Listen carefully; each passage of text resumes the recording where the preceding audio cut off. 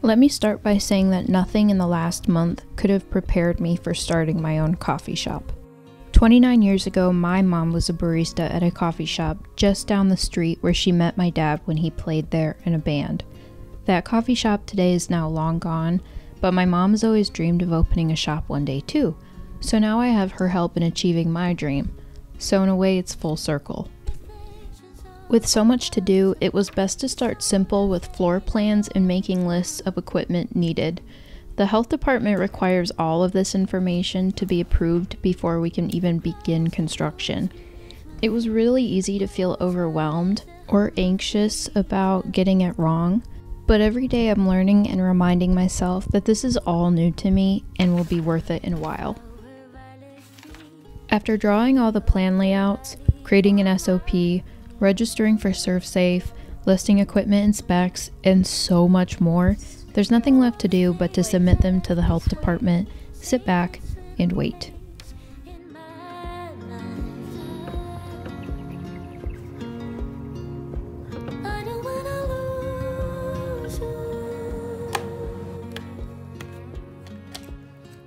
So let me give you a little tour. This back here is where we're gonna store stuff. This back door is a building behind us, but it has an entrance through. So storage will go right here. It's kind of a mess. And storage will go right here. So people can deliver, come right through the door and put their stuff right here. This right here is where we're gonna do food prep and we are going to have our dish sink, our three compartment sink right there. And then uh, we're gonna rip this all out. As you can see, it's already getting ripped out. Gonna rip all of these counters out. Probably gonna put a fridge here, counter here. Um, we're gonna have paninis, hopefully, and hopefully we're gonna have waffles as well.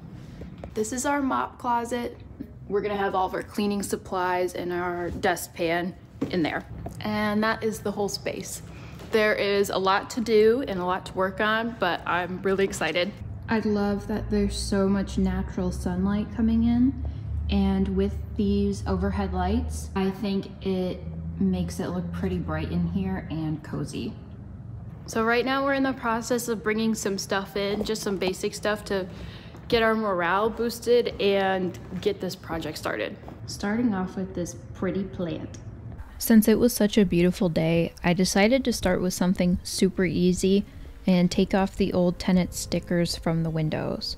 And look how satisfying this is.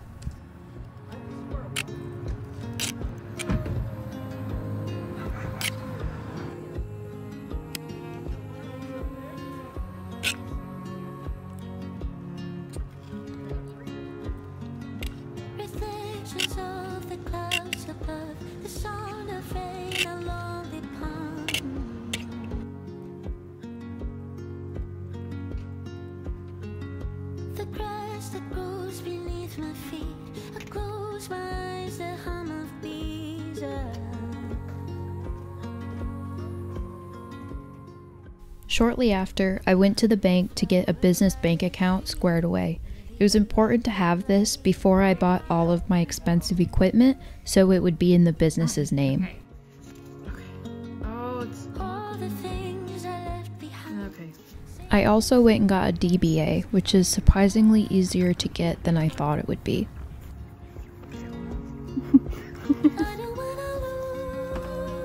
Yay! DBA. The first job to tackle was what we will have as our kitchen. As you can see, the old tenants had some kind of cupboard or shelving in there, and I just wanted it gone. So I spent that whole day tearing apart the old boards and unscrewing everything to just be thrown away. We saved some of these really nice wooden boards that are the shelf up top, and we are reusing them in our shop later.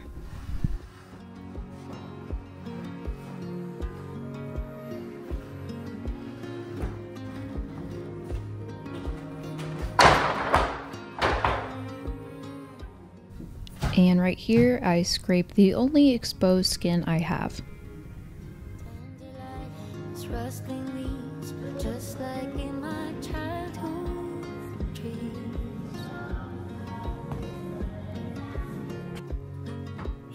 delicate as a leaf.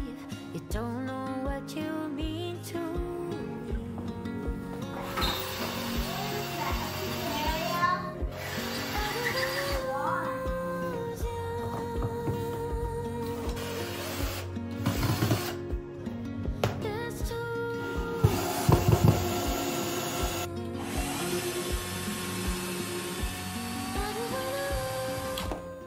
This is our landlord's puppy, Charlie. He came to say hello.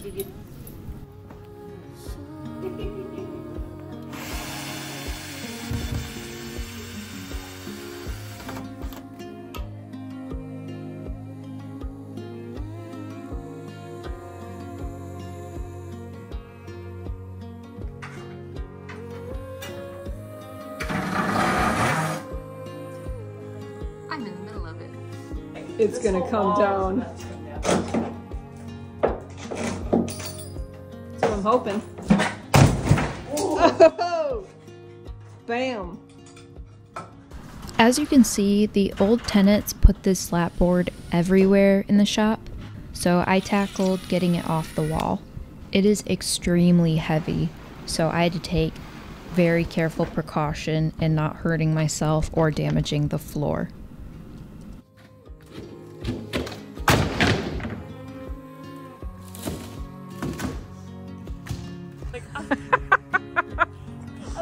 Mom. I need a shot for this.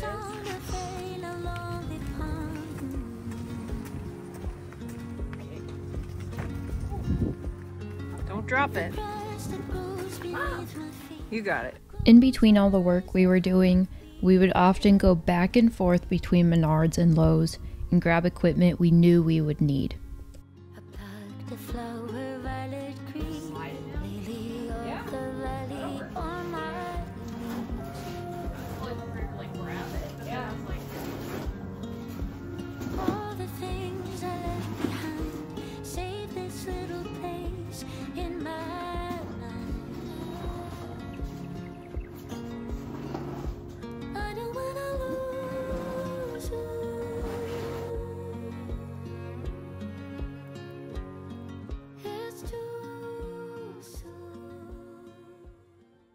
Now it was time to start our biggest project yet.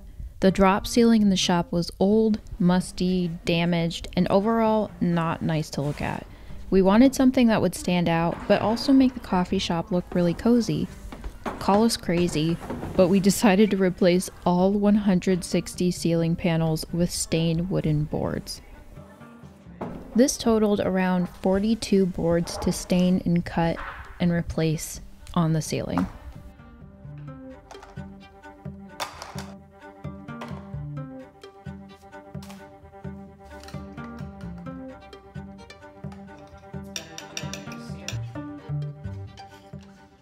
Here's me trying to do a cool shot and spilling it everywhere.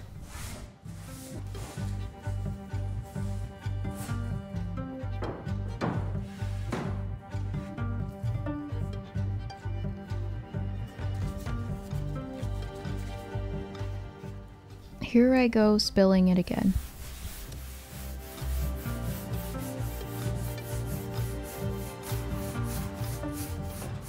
If it's not obvious, I've never stained anything in my life. But I don't think a ceiling is something somebody notices the second they walk into somewhere, so I'm not really stressed about how it looks when I'm applying it.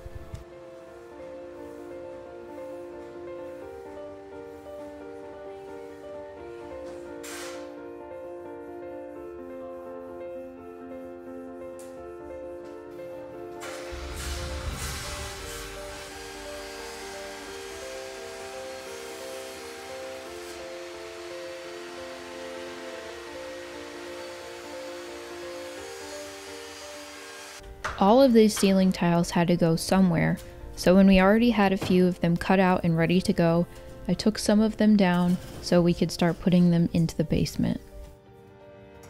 I can't express how much I hate drop ceiling tiles, so I was really happy to see these go.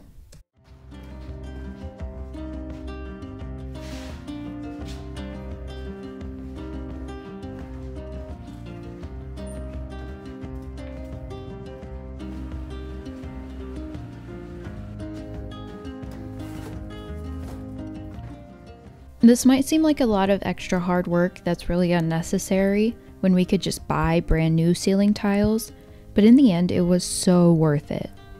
Except when mom was cutting wood and this little shard goes right past my head, I almost died.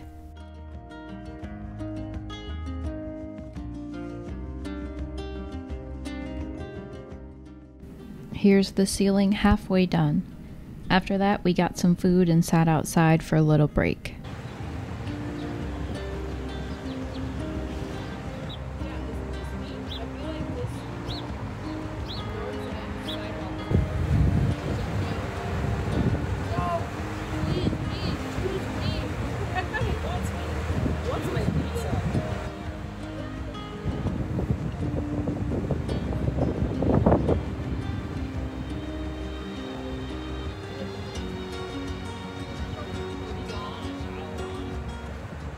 Just to mix it up, we started demolition on the island in the middle of the floor. We don't know what the purpose of this island was for, but after measuring out the space for the bar, we determined it would only be taking away space from the baristas, so it had to go.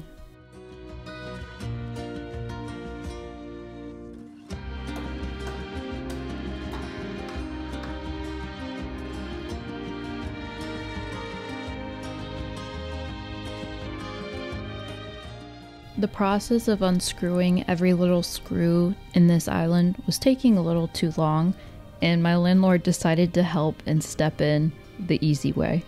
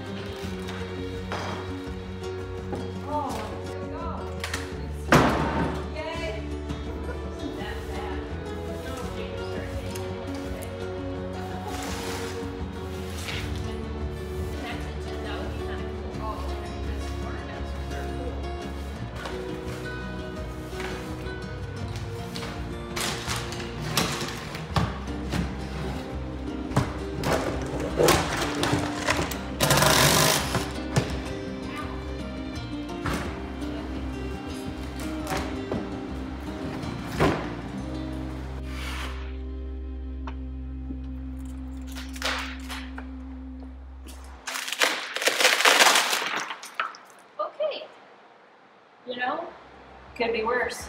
It's just painted. And Need some sanding. Yep. Okay.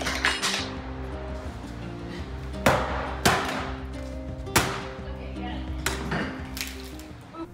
After taking out the island, it was time to get back to working on the ceiling. This is me just taking some of the tiles down to the basement.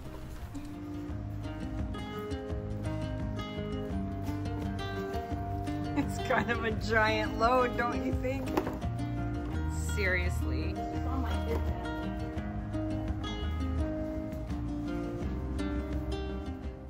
I would say it took us about a full week to buy, stain, and cut all the tiles to replace the ceiling. It was a lot of hard work, but I feel like it was totally worth it in the end.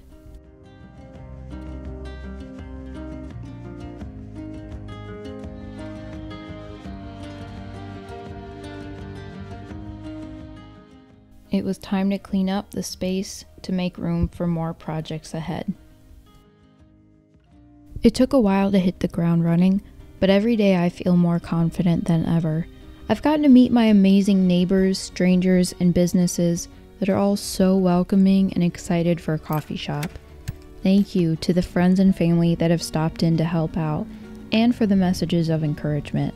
I appreciate it so much. Every day I am so much more thankful to be a part of my community and I cannot wait to open. I've only shown a fraction of what we've done the past month, so consider subscribing to see more of the shop's transformation because this is just the beginning. Thank you so much for watching, and if you'd like to see progress pictures and follow along, we just created an official Instagram for the coffee shop. And go get yourself a cup of coffee. You deserve it.